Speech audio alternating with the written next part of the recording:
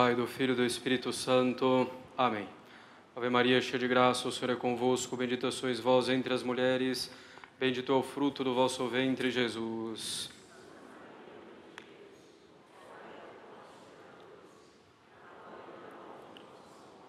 Podem sentar. Caros católicos, São Francisco de Sales, em seu magnífico livro Filoteia, diz que marido e esposa devem ter tanta condescendência um com o outro que nunca se aborreçam e irritem ambos ao mesmo tempo e de repente, para que entre eles não se note dissensão nem disputa. E o santo faz então uma de suas comparações. Ele diz que as abelhas não podem estar em um lugar onde se ouvem ecos e estrondos e onde a voz soa mais alta. Ele diz que, da mesma forma, o Espírito Santo não pode permanecer numa casa onde há disputas, réplicas, vozes estridentes e alterca altercações. Mas o que é essa condescendência de que nos fala São Francisco de Sales? é uma virtude tão simples, mas tão necessária para a vida familiar. A condescendência é irmã da doçura de que falamos domingo passado e é filha da caridade e da humildade. A condescendência consiste em nos acomodarmos ao gosto e à vontade dos outros. Desde logo, devemos deixar bem claro que nunca podemos condescender quando houver ofensa a Deus, pois nunca podemos nos acomodar e concordar com o pecado, embora possamos ser pacientes com o pecador. Adão, por exemplo, teve uma má condescendência ao se acomodar aos desejos de Eva quando esta lhe propôs comer o fruto proibido. Não devemos condescender com o pecado nem por fraqueza, nem por respeito humano, nem por interesse, nem por qualquer outro motivo. São Francisco de Sales dizia ainda: convém condescender em tudo, porém deve ser até um certo limite e não mais. Isto é, até os limites da lei de Deus, que são os limites de toda a prudente condescendência. E acrescentava: a condescendência que não vai acompanhada de candura e de pureza é uma condescendência perigosa e nociva, contra a qual nenhuma precaução é demasiada. Também não podemos condescender em coisas manifestamente imprudentes ou que possam redundar em prejuízo espiritual. A condescendência, caros católicos, é então essa flexibilidade suave e bondosa de nossa vontade, que por amor a Deus e ao próximo se acomoda de bom grado ao gosto e desejo do próximo, procurando agradar-se no agrado do próximo, em tudo o que não seja mal, conforme dissemos. Devemos então ser, sermos fáceis em condescender com o parecer dos outros e com prazer com eles em todas as coisas em que possamos fazer sem pecado e perigo. E principalmente, marido e esposa devem ter essa facilidade em condescender um com o outro. Nosso Senhor Jesus Cristo nos dá o exemplo de condescendência plenamente ordenada. Ele vai, por exemplo, às bodas de Caná quando o convidam. Faz tantos milagres conforme lhe são pedidos, ensina seus discípulos a rezar conforme lhe pedem. Condescende mesmo com um beijo de Judas no momento da mais vergonhosa traição, para ver se atraía Judas com essa demonstração de bondade. Na sua paixão mesmo, o Salvador condescende com o que querem fazer os seus carrascos, carregando a cruz, sendo coroado de espinhos e tantas outras coisas. A condescendência é uma virtude muito mais importante e muito mais estimável do que pode parecer à primeira vista, caros católicos. É uma virtude eminentemente social, isto é, necessária para quem vive em sociedade. Necessária, em primeiro lugar, nessa sociedade mais básica, que é o fundamento de todas as outras sociedades, que é a família. A condescendência é necessária no seio da família. E a prática dessa virtude será muito frequente, pois convivendo com os familiares teremos inúmeras ocasiões para exercê-la. E a prática constante dessa virtude levará à união do coração dos esposos. Passarão a ter cada vez mais uma só vontade, um só querer e um só não querer. Encontrarão agrado em ceder um ao outro. Essa condescendência no seio da família aumentará o amor conjugal e a harmonia no lar. O demasiado apego, caros católicos, à vontade e ao gosto próprios, além de ser um sinal de soberba, é origem frequente de desavenças em que a caridade sai bem ferida. A insistência na própria opinião é um vício que vem romper os laços de união, de paz, de caridade e harmonia que devem reinar no trato e nas conversas na família.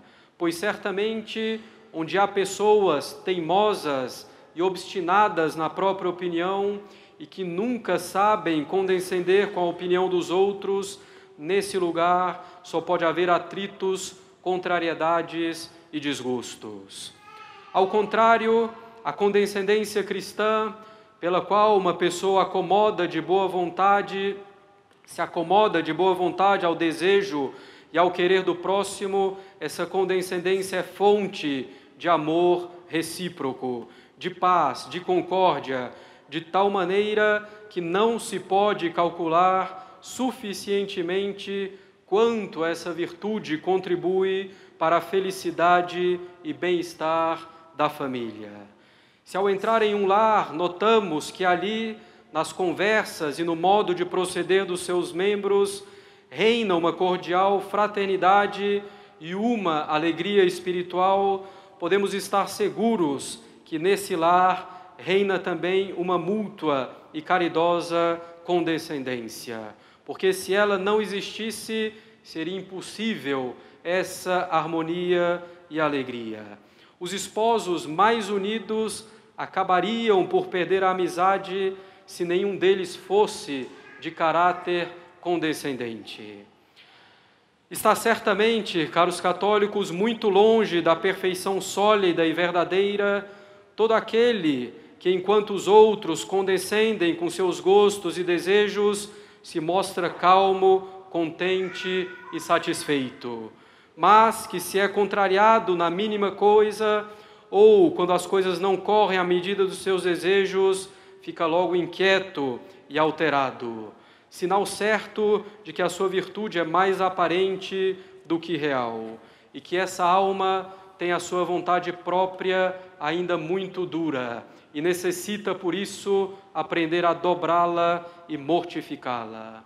Quantas vezes vemos no seio da família surgir disputas, mesmo sobre questões tão irrelevantes, irrisórias, simplesmente porque não se quer ceder à opinião do outro ou não se quer calar-se.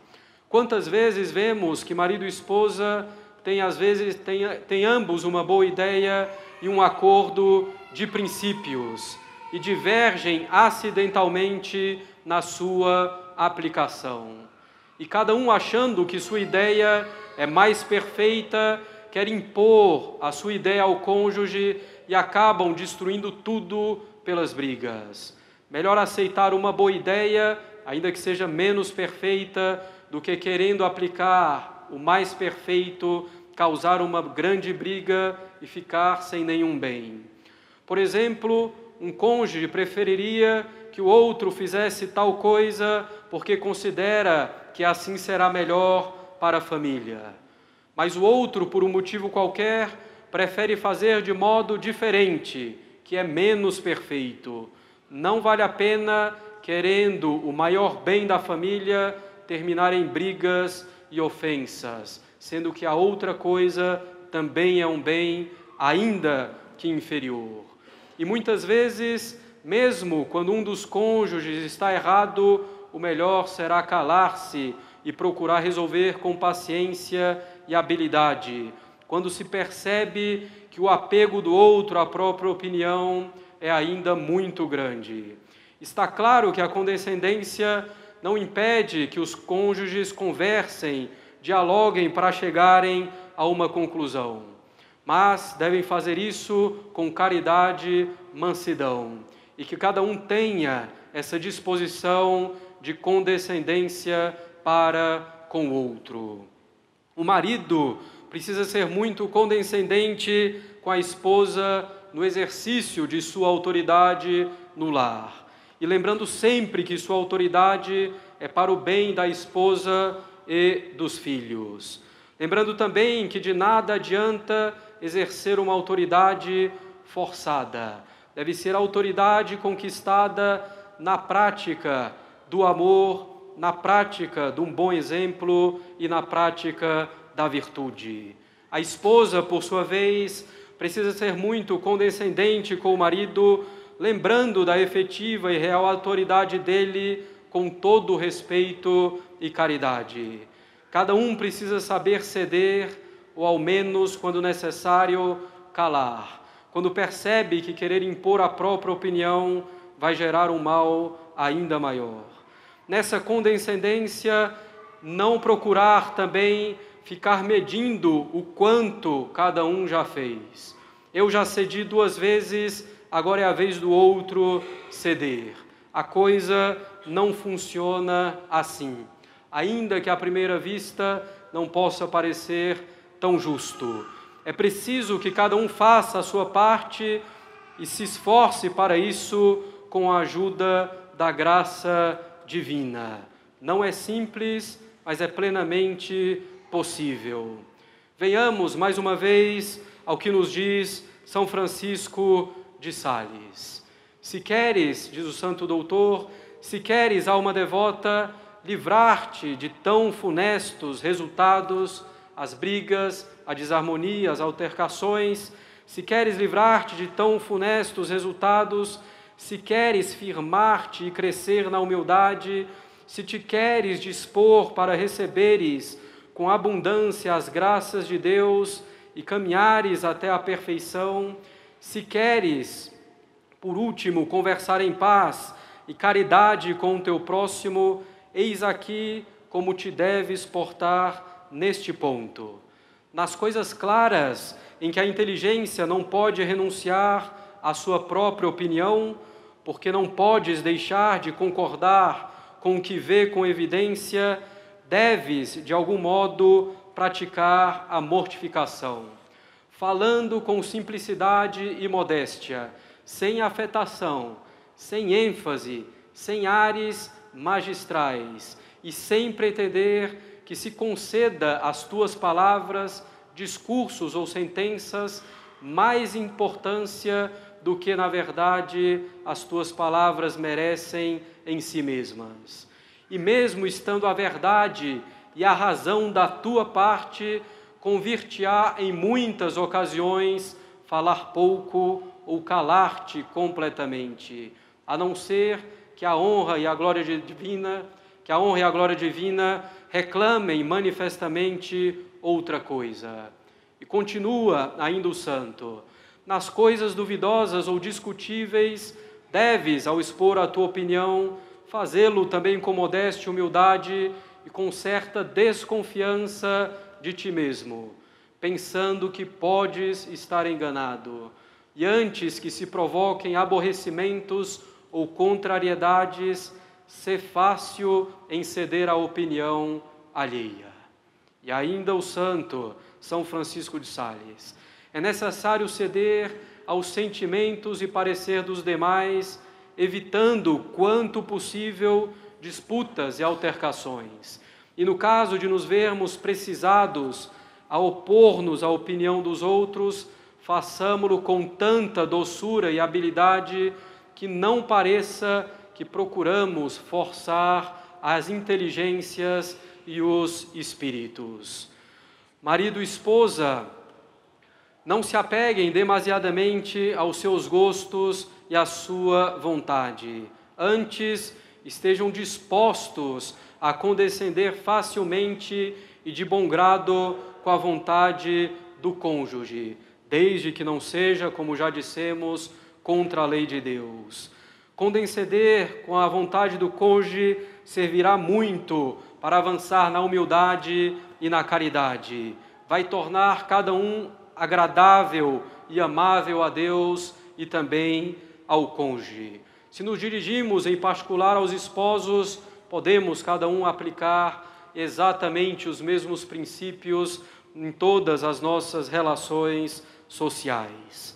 Caros católicos, como podem perceber, temos redobrado nossos esforços em benefício das famílias, aquelas que já existem e também daquelas que se formarão. A família é a pupila dos nossos olhos. A família de vocês é a pupila dos nossos olhos. E como infelizmente as famílias muitas vezes se formaram em bases tão frágeis, em areia movediça, é preciso agora reforçar essas bases com sólido cimento da doutrina católica e com a prática dessas virtudes, às vezes simples, como a condescendência, mas tão necessárias no seio da família. Em nome do Pai e do Filho e do Espírito Santo. Amém.